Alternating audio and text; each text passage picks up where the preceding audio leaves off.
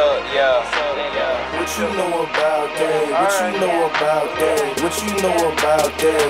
Don't you know that every move that we made got the whole city live? Better call Greg Street, cause it's brown How you doing? Good to see you again after Right 10 on. years. Right on, brother. How's everything going with you? Man, I better than I deserve, I tell you. I hear you're doing a lot of wonderful things uh, in the community. Have a seat. Well, thank you. Uh, share, share with me what you're doing with the community now. Affordable housing component that also has a community center, greenhouse, and also retail space as well. And that's what I'm most excited about, sustainability. Mm. And, and with the with the community garden, with the greenhouse and the mm-hmm. uh, affordable housing, mm-hmm. you are giving back to the community. And, and that's what we're here.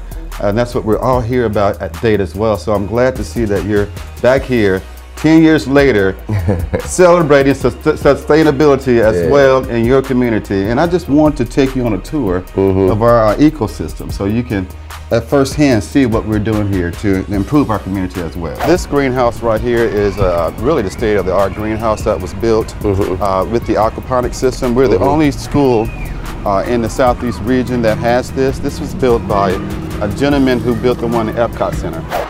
First and foremost, I want to say thank you for inviting me again to your phenomenal campus. Thank you for welcoming me and showing me around. Thank you for finding pieces of my art that you guys could use to your advantage to speak to what you guys are experiencing in your lives right now. That is the purpose of art, that is the purpose of music. The chickens help grow the grass that the goats eat.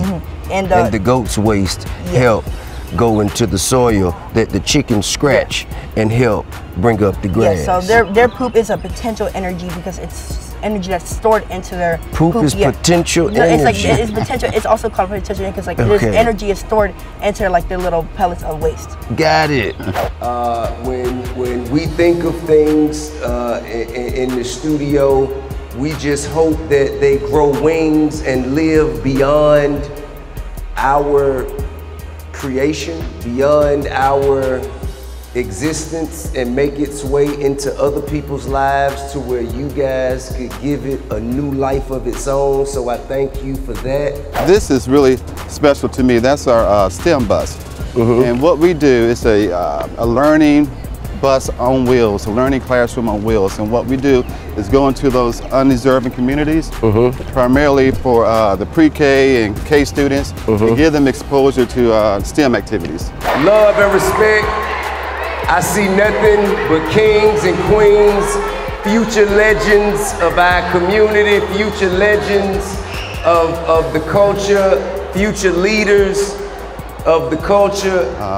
This is new too. So all these uh, ecosystems that we have were not here 10 years ago when you, you got here. And so we're, we're growing too.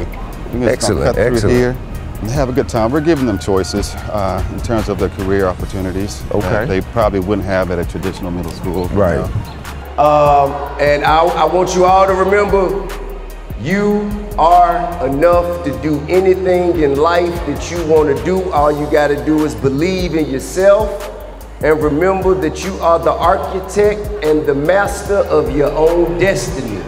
Thank you.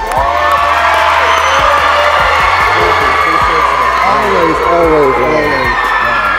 And on behalf of DATE, DeKalb Agricultural Technology Environmental Charter School, we would like to present you with a check for 3,500 for your cause, for your urban development. Appreciate you.